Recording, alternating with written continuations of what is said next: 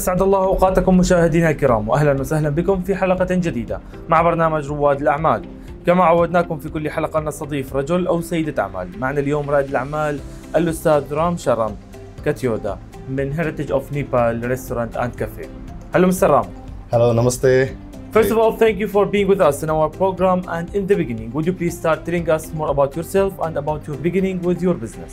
Uh, Thank you so much for uh, choosing this Heritage of Nepal to, of course, uh, ABC channels. And then, uh, of course, thank you for all the leaders who is in this country for supporting all those individuals to come and, you know, starting the business here.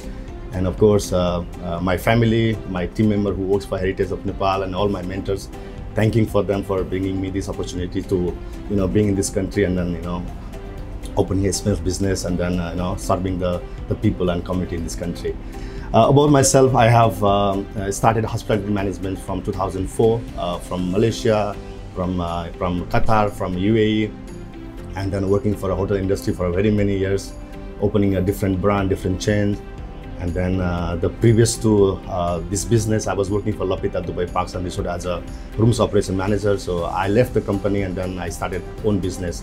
So about our this heritage of Nepal, we have Diras Hospitality Services. We started after the COVID. Uh, we are basically manpower and then also the, the, the all those manpower solution. Uh, you know, uh, providing the intensive, even the hiring solution, and also for any uh, casual space, uh, uh, you know, employee they need. We are surviving from the heritage from the Diras Hospitality Services, and then and then one of the small section of the Diras Hospitality is the heritage of Nepal. So Wonderful.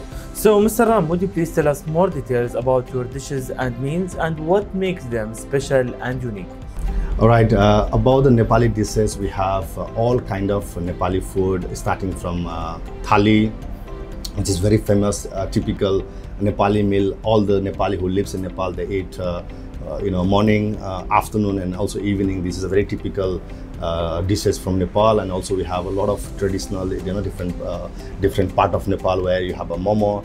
Uh, it's uh, serving chicken. Um, you know, we have a uh, uh, buff and also the vegetarians and different kind of momo again chili momos and all all type of momo we serve here and also we have uh, very typical Newari dishes called uh, Newari Khaja set from the, the Kathmandu city. So I'm, I'm sure the many people who've been to Kathmandu, they must try these things. You know, they have a, all kind of, uh, you know, the nice, uh, the food what they make, uh, you know, all those, uh, you know, barbecues and then, you know, tas. There's a different kind of varieties they put together in one place and then they serve it and then of course uh, there's a lot of uh, the sweets are here shell roti achar there is a there is a there is a many uh, you know nepali dishes we have included in our menu and then we're trying to introduce this beautiful nepali dishes into the uh, the country of UAE and also the people who come to visit in this heritage uh, we also serve the people that uh, that's the same food and then for the drink of course we have all kind of uh, Nepali drinks, uh, you know, yogurts. Uh, we make the nice lassi from the, you know, the different part of Nepal, and then we have very famous Indrachok lassi also we serve here in the heritage of Nepal. We also got a matka tea, uh, which is very famous. Even people are already coming, uh, you know, then then waiting for a you know few few few time to you know getting the tea, and then all those uh, you know mocktails, and we also fresh juice um, that we serve freshly here, and then we serve our customer here. Wonderful. So, Mr. Ram, would you please tell us after all this success, what's your future plans and what's your vision for your restaurant? Yeah, we have uh, started this business from uh, beginning of this year. It's not so old. Uh, so we want to be unique. We want to be very special. That that's what we are really thinking as a team. So uh, we have a seven emirates in the country. So we really want to open this heritage of Nepal into seven different emirates, and we're serving uh, all the people who lives in this country. Uh, you know, starting uh, this is the multi multi multinational country, right? So we have a lot of people from different country. If they want to try, uh, I can proudly say that we have a Nepali you know heritage restaurants in each each each I will say about each um, the the part of UAE. We hope you the best and we hope to see your places all over the UAE. Thank you so much. Mr. Ram, as a businessman and as a resident here in Dubai, what's your advice for anyone who's interested to start his own business here? Uh, of course, it's uh, it's not easy to start a business, right? Uh, and then like me, I have employed uh, employed by someone for uh, 17, 18 years, so it's really difficult for me to step into this business, right? Of, of course, you need to have a lot of uh, you know plan, mission, vision. You need to have right partners.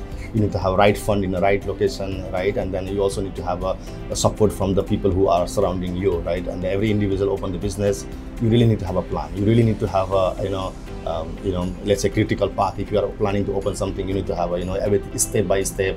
And then, of course, you need to have the right people to work for your right company. And then, um, of course, if you have a strong team, if you have a strong mission, if you have a strong vision, and you know where you are going to head, that's going to help you to, to, to be as strong in this country.